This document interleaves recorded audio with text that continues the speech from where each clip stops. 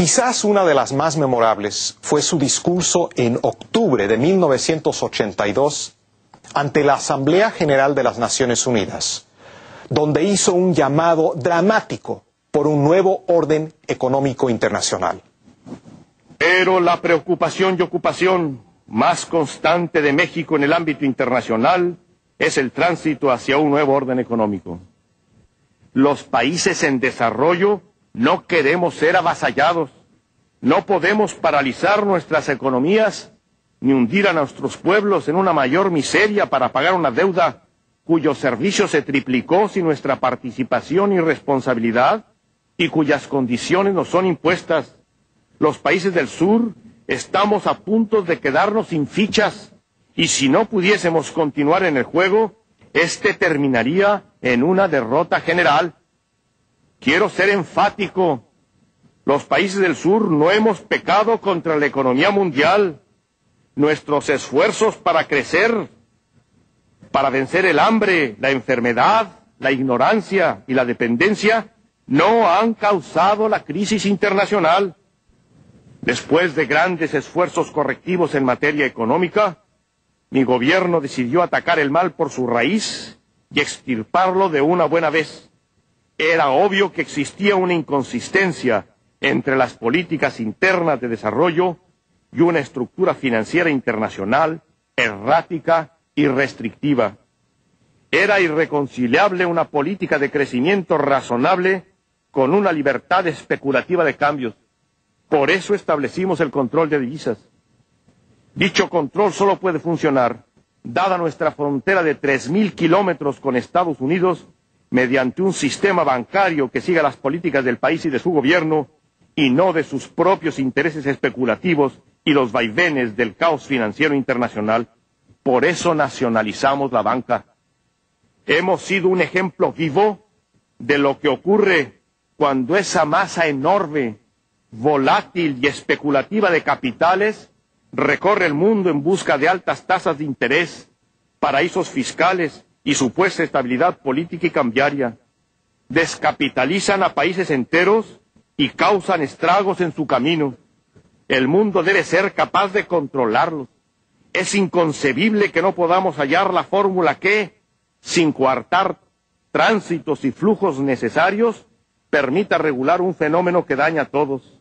Se hace imprescindible que el nuevo orden económico internacional establezca un vínculo entre el refinanciamiento del desarrollo de los países que sufren fuga de capital y los capitales que se fugaron, siquiera migajas de su propio pan. La reducción de las disponibilidades de crédito para los países en desarrollo tiene serias consecuencias, no solo para ellos, sino para la producción y el empleo de los países industriales. No sigamos en este círculo vicioso podría ser el principio de un nuevo oscurantismo medieval sin posibilidades de renacimiento. No podemos fracasar. Hay lugar al tremendismo. Está en juego no solo el legado de la civilización, sino la sobrevivencia misma de nuestros hijos, de las futuras generaciones, de la especie humana. Hagamos posible lo razonable recordemos las trágicas condiciones en las que creamos esta organización y las esperanzas en ella depositadas. El lugar es aquí y el tiempo es ahora. Fue el mismo José López Portillo, el gran estadista, quien 16 años más tarde respondió al mensaje de la Rush de la siguiente manera.